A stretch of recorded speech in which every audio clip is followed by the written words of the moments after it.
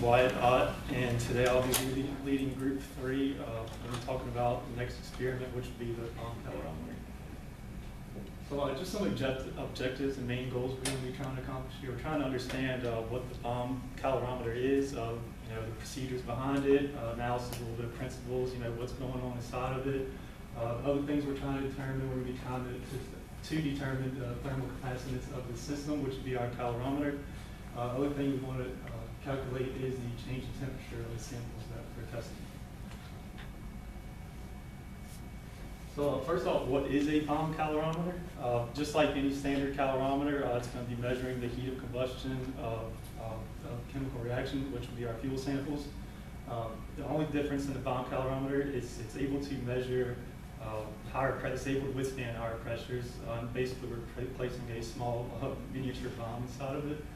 Um, It's also used in testing uh, quality, purity, uh, testing fuels, uh, pollutants, waste, stuff like that. A great example of this would be uh, roughly 10 years ago, uh, I think they started removing uh, high amounts of sulfur from diesel fuels. Basically, whenever an exhaust system on a vehicle or a factory, basically just remove the soot, the black smoke coming out from it. Only issue with that is, is pretty much what that did was produce uh, mission failures for vehicles later on down the road, so they had to come up with a new solution to that. Uh, Just a little bit of background of the equations we're going to be using here. Uh, Mainly the first law of thermo is going to be applied. Uh, You have the sample heat of combustion, which is equal to the thermal capacitance times the change in temperature. Uh, For this experiment, we're mainly going to be uh, using, uh, we're going to say that the inside of our calorimeter is going to be our control volume. So in that case, we, if the the fuel is known, we can find the thermal capacitance, and if the fuel is unknown, we will be finding the heat of combustion of that. So uh, just proper safety that's gonna be required, uh, appropriate dress, uh, long pants, closed-toe shoes, uh, wear safety glasses at all times. Uh, never operate anything, equipment without TA or professor's permission. Uh, no horseplay, uh, no play and hide go seek inside the lab. And use common sense, and when in doubt, always ask TA. So just a little bit of the apparatus we're going to be using here. We've got the thermocouple, which is going to be reading our temperature, the change in temperature, which will be connected to our computer. Uh, the stir motor, which is going to be in charge of distributing uh, the heat throughout the water, so we get a proper reading from the temperature. It's not going to be just sitting in one area. Uh, then we have the wires connected to the ignition source, and we have the water water bucket, and we have the stainless steel bomb, which can be spread out right here. Uh, One A shows the inlet check valve, and on the other side of that, one B would be the pressure relief valve. And uh, connecting right here would be the two electrodes, which is holding our uh, fuel sample, of the crucible. And we have the 10 centimeters of nichrome wire, which will be here, only touching the sample. And uh, we also have the lid locking ring, which will just be keeping this in place. So just a little bit of procedure we're going to be going through here. We're going to measure uh, roughly one gram of benzoic acid. Uh, Then we're going to cut 10 centimeters of the nichrome wire. Uh, Make sure it's only touching the fuel sample. You don't want to touch anything else to get an inaccurate reading. We're going to purge the bomb, and we're going to pressurize the bomb to roughly uh, 30 atmospheres. Uh, For the water jacket, we're just going to add roughly uh, two two kilograms of water to it at around room temperature, plus or minus five degrees. Uh, Then we're gonna lower that into the calorimeter.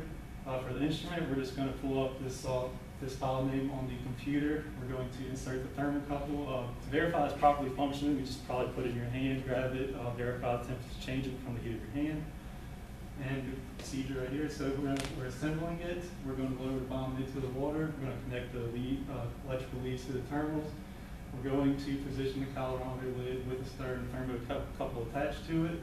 Uh, for the experiment, we're going to record the two room temperature right before the ignition of the fuel. And then when we go to ignite the fuel, we're going to read the temperature for seven minutes until it, the temperature remains at equilibrium. Uh, then we're going to stop whenever the temperature is reached, uh, equilibrium, then we're gonna save all the data.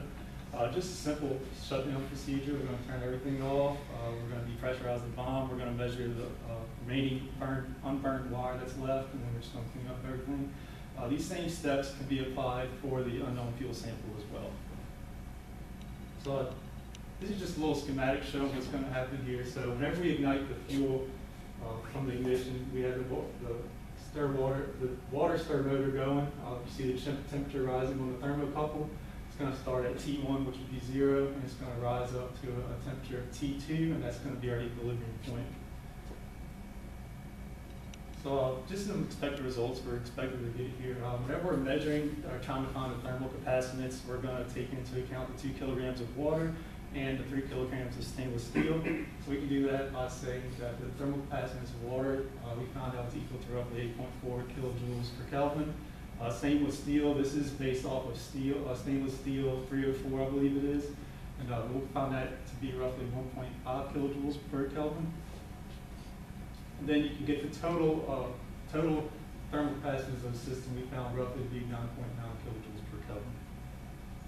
So next, we're trying to find the change in temperature of this system, so uh, we can do that, uh, by basically using the formula that we uh, introduced earlier, which was, uh, heat combustion is equal to thermal capacitance times change in temperature.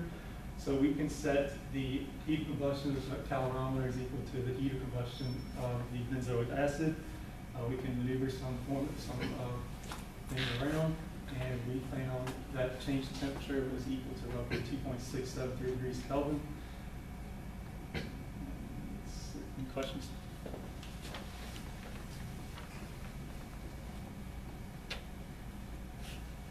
Um, let's see, what's the purpose of the purging? Yeah, uh, question was what was purpose of purging? Uh, pretty sure, uh, you don't want to, to set up a bomb or the bomb that we're using, um, you don't want, there's no unwanted, uh, pressure in it. Uh, there's maybe ten atmospheres of pressure in it, and you go to add thirty atmospheres, uh, I don't want to say it explodes, but that might happen, just to get any unwanted, uh, air particles out of it pretty much. Any other questions? Thank you.